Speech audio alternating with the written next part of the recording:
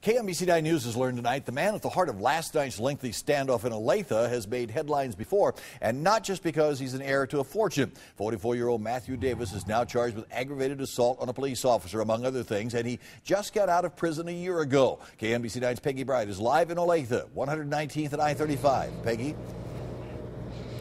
Well, Larry Davis was reportedly here at Joe's Crab Shack with a group of people yesterday afternoon. Around 2 o'clock, management here says he stole a bucket of beer and sped away, narrowly missing a police officer. And then they say he led the police on a chase to a relative's home.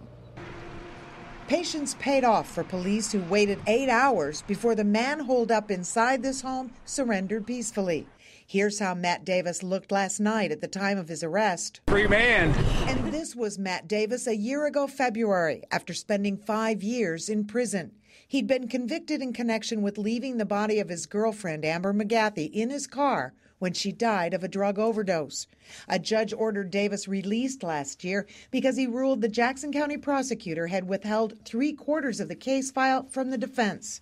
Amber McGathey's father, a Crime Stoppers board member, was furious. It wasn't relative. Today, five years later, it gets him uh, a new trial, and ultimately the objective, I'm sure, is to get less time than 22 years, which he likely will. McGathey also predicted that Davis would be in trouble again, doing drugs or jumping bail as he'd done in the past. Are you going to do drugs again no. or jump bail? No, no, ma'am. I am not going to do drugs or jump bail, and I am, I am, I'm can't wait to get back in court on this. But it appears he'll be going to court in Johnson County first for drunk driving and trying to strike a police officer with a car.